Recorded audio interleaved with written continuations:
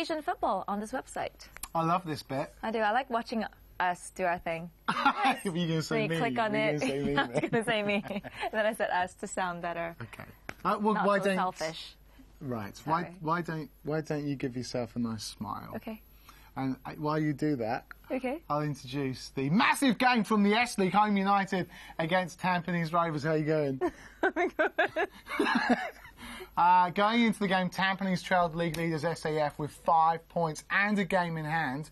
On the other hand, you wrote this, didn't you? Home United in third place needed a win to get back into the title chase. Des Corkill in the commentary booth.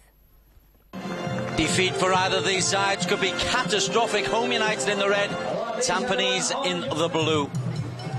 That's Perez to Aliff Shafaein, and it's just over the bar. He holds his head.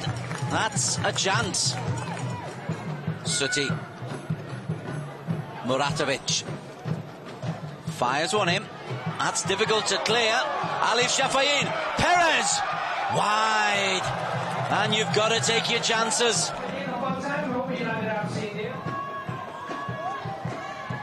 Subramani just clears it, and this is Kone Hamed running at Tampines.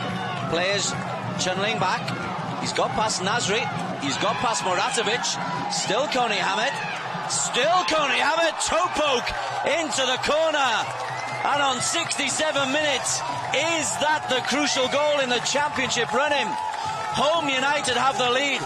What a goal from Hamed. Beats two players, then takes his time, and the cheeky little finish into the bottom corner.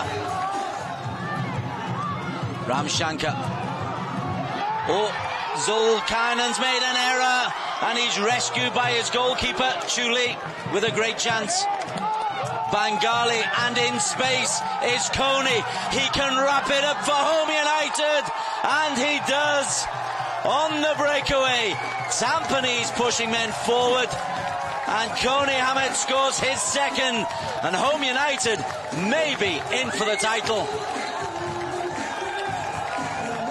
I think the team, the team played very well, deserved the victory because we worked very hard. Without our four national players, we were, our squad was a bit thin, but nevertheless, the whole boys rallied together and we deserved this result. I think the Titans very uh, close already.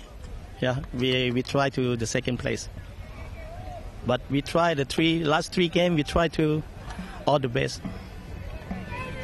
He sounded a little upset there. Uh, well, that's because Home United leapfrogged over Tampines into second spot. The Protectors are now only four points behind league leaders SAF with a game in hand. Okay, that's it for Asian footy. I'll be watching this. Can't wait. Is there anything you'd like to remind yourself? Like, I don't know, take the dog for a walk or go on and do No, something? just remind myself to watch this Okay. on the website. Thanks for downloading.